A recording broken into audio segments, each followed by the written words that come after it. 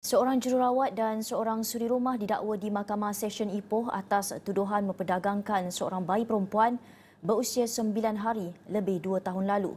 Nur Azlina Muhammad Nasir, 41 tahun, yang bertugas di sebuah hospital di Alustar dan di Murugamal, 52 tahun, bagaimanapun mengaku tidak bersalah selepas pertuduhan terhadap mereka dibacakan serentak di hadapan Hakim Nur Rashima Khalid.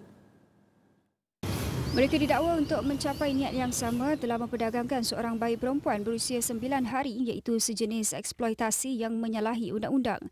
Perbuatan itu didakwa dilakukan di kawasan letak kereta berdekatan sebuah hospital swasta di Manjung kira-kira jam 12.30 hari 18 Jun 2020.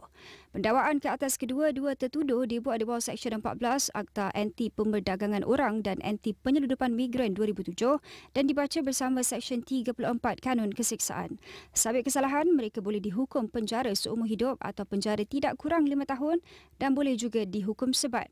Mahkamah membenarkan kedua-dua tertuduh diikat jamin masing-masing sebanyak RM10,000 dengan seorang penjamin. Mahkamah kemudiannya menetapkan 24 Februari sebagai tarikh sebutan semula untuk serahan dokumen.